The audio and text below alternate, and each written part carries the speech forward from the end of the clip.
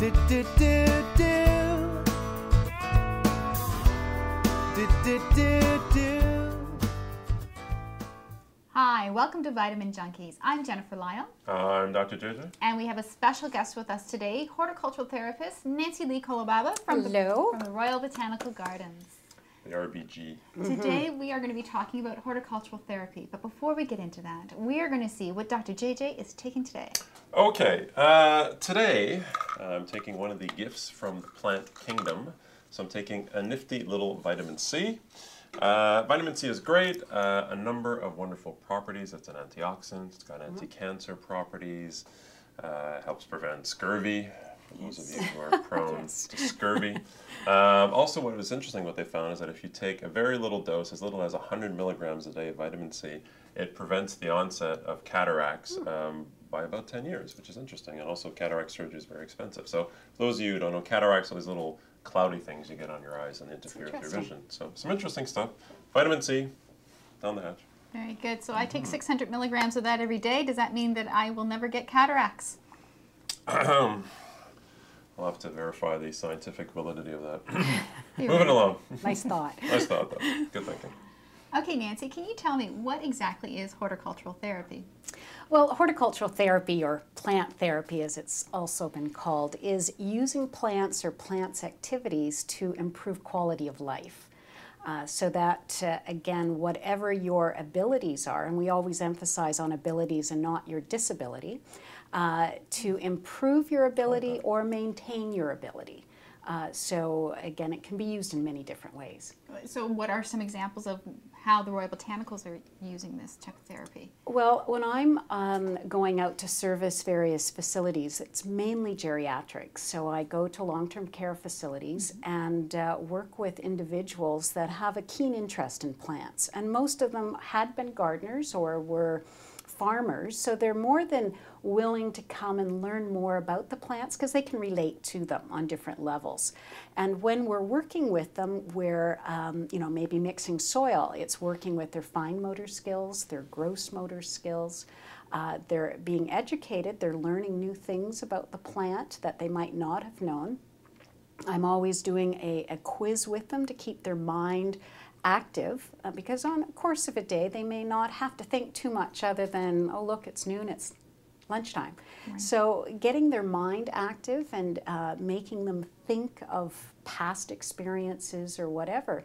So it's really really beneficial uh, for the client without them really knowing it they come out just to have a really good time and that in itself is a benefit but then I'm always working with them on their memory, fine motor skills, gross motor skills, eye hand coordination, uh, getting them to uh, express their opinion on the plant or any information that they have to share about the plant, and many of them do. Wow. That's great, and you it probably is. have a great social aspect too, right? It Because they're is. doing it with their neighbors. They're doing it to with meet their new neighbors. people. Yes. Because many seniors are widowed. Uh, and Exactly. So on, right? So it's nice to have that social interaction. It's hard to meet people as a, as a senior, so that's It, great. it is, That's and it's it's really rewarding, you know, because they're teaching me a lot. I never go in and with the emphasis that I know it all. Let me teach you. It's like I've got some information to share, and I want to learn from you as well. And they oh. love that. You know, mm-hmm. let me tell you about the best tomatoes I grew when I was in my oh, own home. Fantastic. So it's wonderful. Do you wonderful. grow truffles? I haven't heard of anyone growing truffles, but I'm sure there's someone out a there. business in there. We should talk. Yeah, that's right. We'll talk out after. Now- Truffle business. There are some different institutions that are using this as part of their normal programming. Is Of that course, correct? yes. It's becoming quite, uh, you actually become a horticultural therapist through education.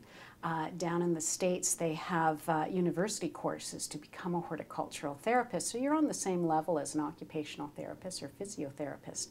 But many different facilities are learning the benefits of it. Um, Homewood Health Center in Guelph, it's a mental health uh, facility, and they're using it. In Penetang, uh, their mental health facility, they have a, an outdoor gardening program, and they're more of a vocational, so teaching job skills and things like that.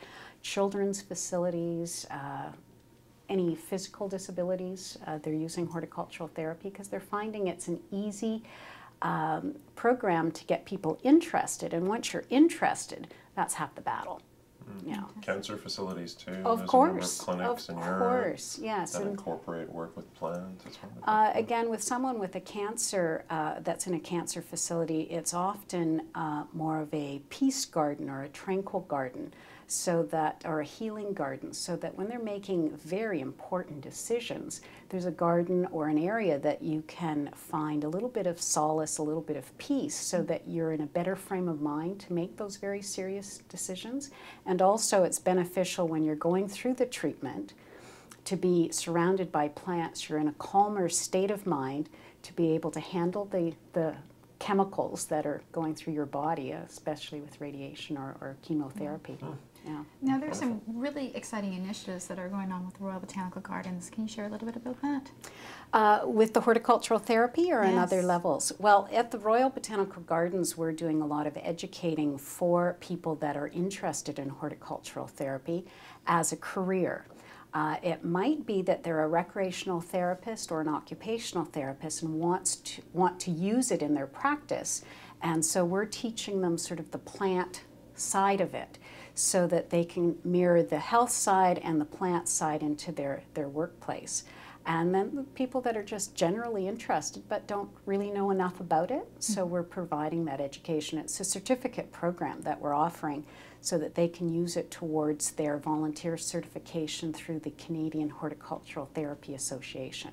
And there's a really neat initiative in Chile that you were sharing with me as well. Yes, I just returned from Chile. Uh, they too are starting up a, an association because, again, uh, there's the American, there's the Canadian, but because of the language barrier, uh, the Canadian and the American won't uh, certify them because any information that comes to them is in Spanish. So they decided to start their own. So I was down there uh, training and teaching individuals that are working towards their volunteer certification with the Chilean Association. So it was exciting. Yeah, yeah. It's fantastic. Well, thank you so much for showing us or teaching us a little bit more about horticultural therapy. You're very welcome. Uh, for anybody who is interested in learning more about this, you can go to the Royal Botanical Gardens website, www.rbg.ca. And if you wanted to find out more about uh, having a program, horticultural therapy course, Yes. I guess, or session at your facility, you can contact Nancy at 905 527 1158, and my extension is 510. I'd love to hear from you. Fantastic. Thank you so thank you so much for joining us. And I encourage you to visit our website where you can join the addiction and subscribe to our video podcasts. And while you're there, take a look in the show notes and you'll see a link to a survey. We want to know a little bit more about you. And for everyone from North America who takes the survey, you'll be entered into a chance to win a great prize pack from Hey Jute. That's great. Thank mm-hmm. you. Thanks for joining us. I'm Jennifer Lyall. I'm Dr. JJ. I'm Nancy Lee Collibaba. and continue the addiction to good health. do do do